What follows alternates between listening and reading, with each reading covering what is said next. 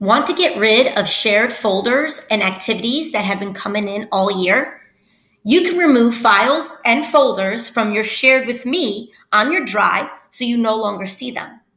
The people who own them, however, will still have access to them. So in order to clean up your shared with me, what you want to do is go to your Google Drive and on the left-hand side, click the shared with me option. Then Find the files or folders you want to get rid of.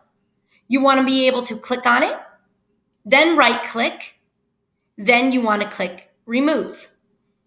Once you do that, you will be prompted to either cancel or remove.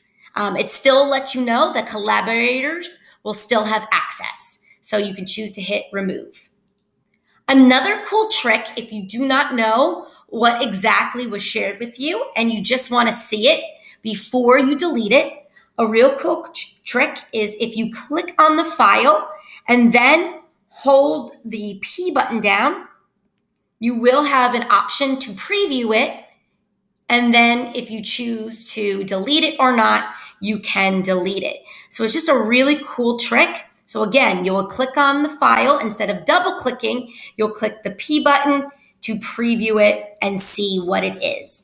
And then once you release that, it will bring you back to, you can click the arrow and it brings you back. So again, it just allows you to preview it before you decide to remove it. So that is how you can go through your shared with me and really just delete the things you do not want anymore.